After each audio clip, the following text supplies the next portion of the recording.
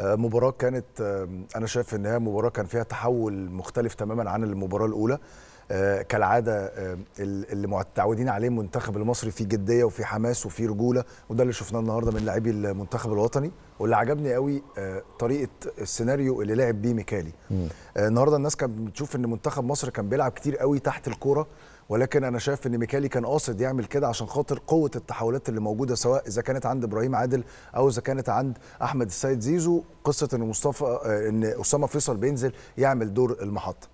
أما نيجي هنستعرض بالحالات ال- القصة كلها ليها علاقة بحمزة علاء وجودة حمزة علاء في إرسال الكور ال- الطولية. حمزة علاء. آه طبعا. وجودة لاعبي منتخب مصر في التحولات الهجومية ودي الطريقة اللي- اللي كان المفروض منتخب مصر يكسب ويجيب أكتر من هدف النهارده. دي الكرة الأولانية خالص. أسامة فيصل بيشاور لمين؟ بيشاور لحمزة علاء. كرة على طول. أول ما منتخب مصر بياخد الكرة هتلاقي حمزة علاء المميز جدا جدا يا كريم هيلعب الكرة العالية علشان خاطر بتلعب كرة على أسامة فيصل. ليه؟ عشان السكند بول تنزل لاعبي منتخب مصر. دي كانت الطريقة الأولى. حمزة علاء هنا أول ما هيلعب ال- الكرة على طول لأسامة فيصل هتلاقي إن اللعب كله مت يعني متجمع ناحية الشمال. هتلاقي أسامة فيصل هيطلع عشان مميز جدا من ضربات الرأس. نكمل بقى الحالات وإحنا بنتكلم.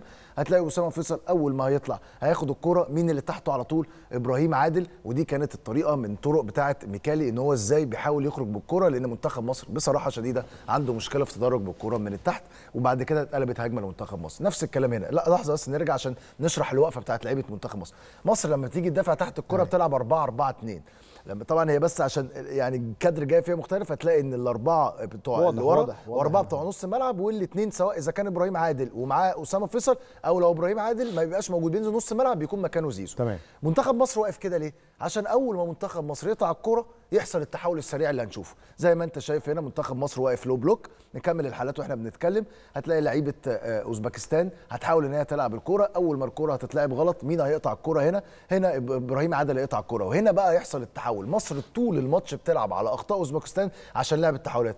زي ما انت شايف هياخد الكورة إبراهيم عادل هيعدي من الأولاني بمهارة شديدة جدا هيفضل ماشي بالكورة وهيعدي كمان من الراجل الثاني وقف. عشان أقول لك إن من منتخب مصر أضاع فرص كتيرة جدا. بعد ما إبراهيم آه، عادل يعدي من من الراجل ال- ال center back الثاني هتلاقي مصر بقت ثلاثة على واحد فقط. نشوف ال frame اللي بعده إحنا بنتكلم بص هنا نقف بقى لحظة. ببساطة شديدة لو إبراهيم عادل طلع الكرة هناك لزيزو زيزو انفراد. ولكن إبراهيم عادل كمل بقى ال frame فضل ماشي بالكورة.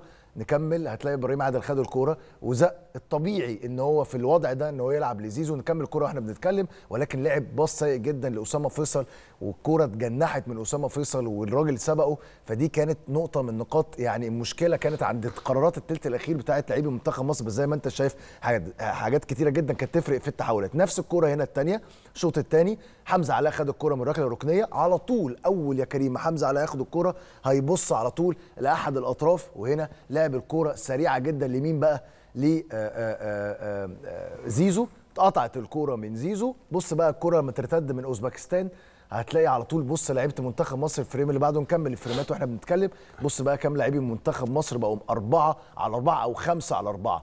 هيحصل 1 2 من أحمد عيد اللي قدم مباراة جيدة جدا مع منتخب مصر ويكمل أحمد عيد وهنا تتفرج على زيزو. هنا بقى بص أحمد عيد قبل ما يلعب الأوفر رفع عينه عشان يشوف زيزو فين ولعب الباص على طول بالعرض لزيزو وزيزو بيهدر تاني فرصة سهلة جدا غير الفرصة اللي ضيعها بدماغه في المباراة الأولانية ودي كانت فرصة خطرة جدا. زي ما أنت شايف مصر تلعب تحت الكره وبتلعب بس على الكور الطويلة عشان استغلال السرعات الموجودة.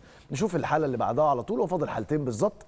نشوف الحالة اللي بعدها نفس الكلام برضو حمزة علاء يا كريم المميز جدا جدا في إرسال الكور الطولية هيلعب. الكرة دي طبعا ممتاز بص بقى. استلام إبراهيم عادل وإبراهيم عادل قام رقص الراجل في كرة من أحلى الكور اللي لعبها منتخب مصر استغلال فيها. طبعا رقص الراجل عدى الكرة من فوقيه ورايح شبه انفراد وكان ممكن م- حطها بس كان حطها وحش قوي حتى الزاوية العكسية اوريك مهارة إبراهيم عادل في إيه- إيه لما يستلم الكرة والكرة صعبة جدا وجاية من بعيد جدا استلم الكرة زق وداس رقص الراجل وكان ممكن منتخب مصر يحرز الهدف الثاني اذا ميكالي نجح بشكل كبير جدا إن هو إزاي منتخب مصر كان بيلعب تحت الكورة وبيلعب على التحولات على سرعات لاعبي منتخب مصر. ولولا القرارات الأخيرة بتاعت اللعيبة كان ممكن مصر تكسب. بسكور جدا.